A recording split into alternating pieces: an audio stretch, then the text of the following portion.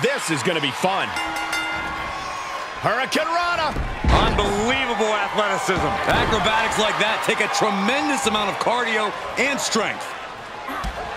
She's starting to tire a little.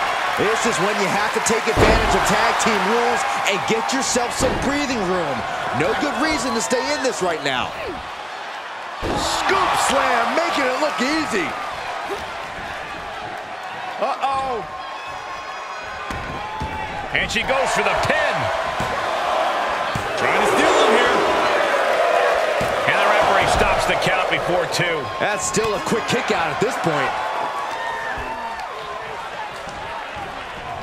Wants her set up in the corner. Just caught flush. Turnbuckle drop kick. Waiting for their fallen opponent and a step-up senton.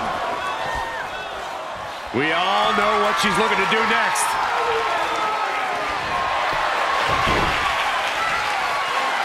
Take down the arm. And the official calls it. Clearly, they cannot fight any longer. Here's a few clips from the last match for us.